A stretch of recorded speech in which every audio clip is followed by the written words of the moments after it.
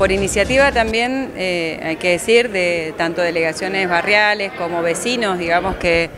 eh, colaboran en las instituciones y, lo que vamos también observando nosotros de, cómo se van destacando ciertas actividades deportivas en nuestro departamento,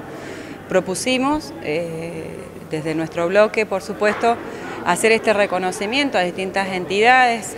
grupos solidarios y también, bueno, asociaciones deportivas como es el tenis de mesa,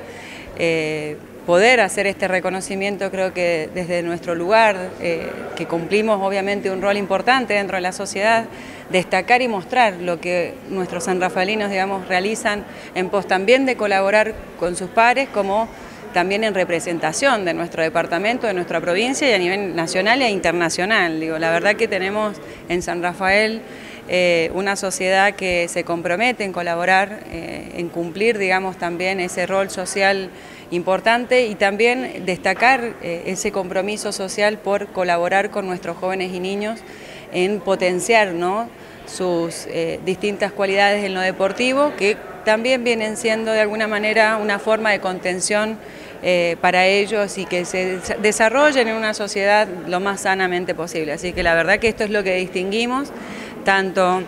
lo que tiene que ver con el tenis de mesa, la Asociación de Tenis de Mesa con sus destacados, la Doma, desde clubes como el de Atuel Norte, por ejemplo, el Torneo de la Sanidad, eh, que las chicas eh, enfermeras y demás que se suman a poder colaborar con instituciones que lo necesitan.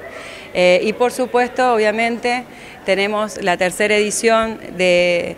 del torneo femenino y por supuesto también 19 años de una cabalgata que se viene realizando desde Malvina a Punta del Agua, que esto es lo importante, ¿no? que, bueno, nuestra cultura también se, defienda de alguna forma y se reconozca. Yo creo que todos merecemos y necesitamos ese empuje que, genera esto de poder ser reconocidos y,